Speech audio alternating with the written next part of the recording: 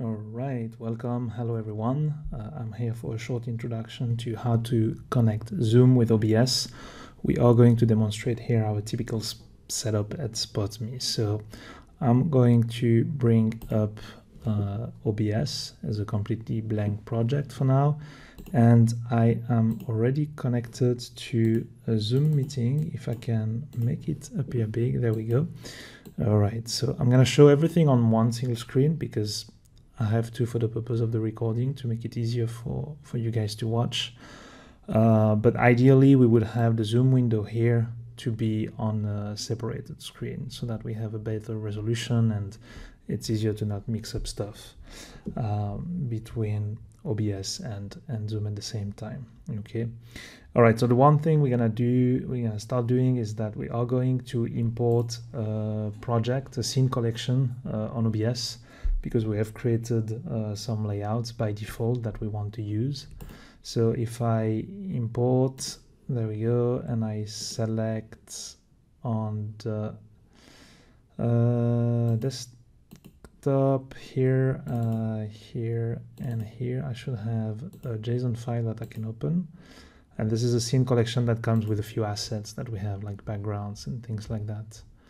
Um, and I can then switch to my OBS template here. And there we go. We have a bit of a resolution issue. Bear with me one second.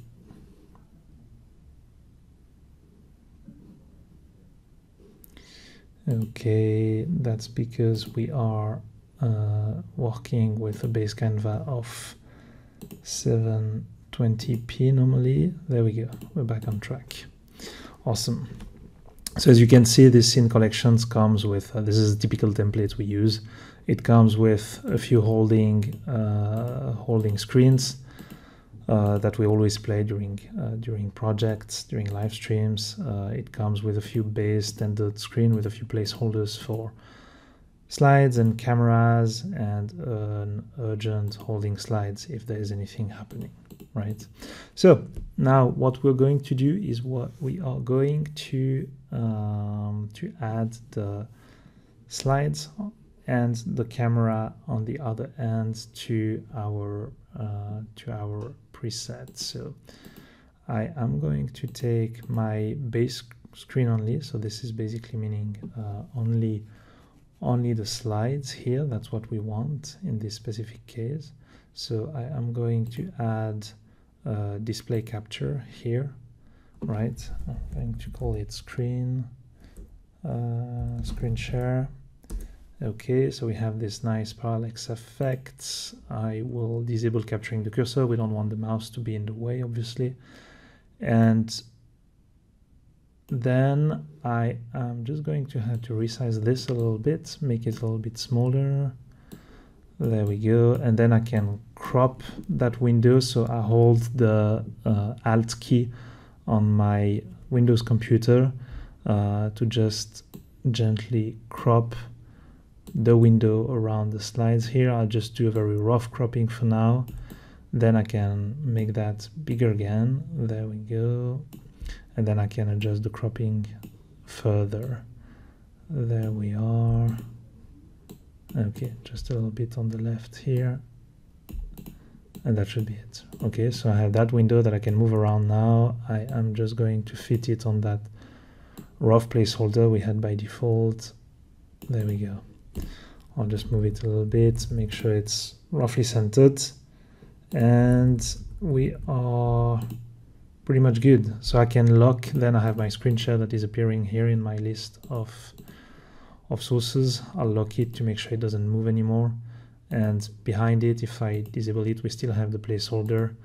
I'll hide the placeholder just in case. Uh, just in case, that way we have a very clean layout. Okay. Uh, and now if I use my other laptop from which I'm sharing the screen, if I move my slide, I should, uh, it should fit nicely in. There we go. Obviously, the, the colors and the branding is not ideal because we're reusing the same branding for the slides and the background here on, um, on OBS, but that's a detail. Uh, all right, so that's one base screen uh, that I'm going to uh, to that I'm going to duplicate and I'd say this is my main screen only and I'll just move that up here. There we go. This way I have my main screen and I still have a base. If for whatever reason I need to modify that one I still have the base screen here that I can start from and duplicate it again if there is any need to do so. Uh, when I duplicate I just need to lock again the different elements. Okay that's it for this part. Then if I take the next one uh, so here we want slides and uh, one speaker view so I am going to add a display capture again. I'm gonna start with the slides. Nothing different than before reducing the size and then uh, very quickly do a rough crop. There we are. Adjusting this here. Okay and making final adjustment to the cropping here. I think that's it. We can slightly reduce probably so that it fits on the placeholder again I'm making this pretty rough uh, for a final production setup we will want to make sure that things are more properly aligned and everything right um, okay so I can disable this, lock this one. We are good here. And then I need to add another display source. So there's an option to add window capture, but we have found that with zoom, um, with zoom, um, capturing the window is not always consistent in behavior. Sometimes it's there, sometimes it's not. So we prefer to default to um, we prefer to default to the display capture, which at least we know how it behaves in any in any cases. All right, so we are going to do this, uh, making it a little bit bigger here, and then uh, recrop the corners, probably make it a little, less wide than it is actually now, hide the name, so that it doesn't look like it's actually taken from Zoom, obviously, um, and roughly fit it around here. There we go. Uh, I think with something like that, we're pretty good. Making it a little bit bigger. Nice, beautiful. Looking uh, and just disabling the placeholder behind it. And here we go. We have a lovely setup with a speaker and a slide share here. Same than before, just duplicating to make sure we actually save the, the uh, base the base scene in case we need to redo anything. There we go, moving that up there. And uh, just removing, trying to keep naming consistent. There we go. And we are going to do just the base for one speaker because we have an, only an active speaker here. So it means that if we had more speakers coming in, uh, we would only always see the image of the one speaker that is currently talking.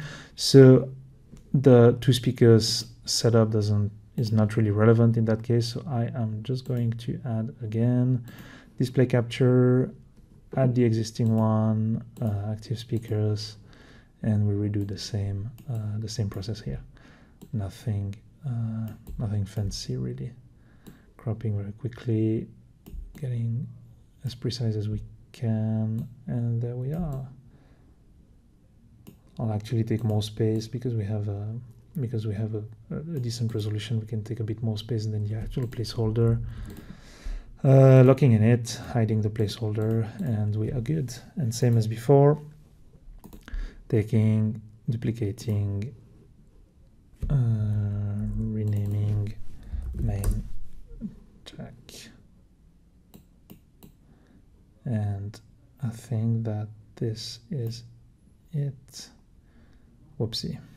Uh, where did it go here there we go all right it means that now we have a pretty good setup in terms of uh, our layouts. We have holding screens. We have slides only presentation and sl uh, present slides and speakers sorry speakers speaker only. We have an urgent slide if there is anything that is going wrong and we have our base uh, scenes if we want to uh, to duplicate something and recreate something that is similar but a little bit different. Um, the one thing I wanted to double check is the audio as well. So as we can see, we don't capture any audio. Let me enable it on my other computer. So if I'm speaking, okay, let me just reduce the sound on my end here. There we go. Okay, so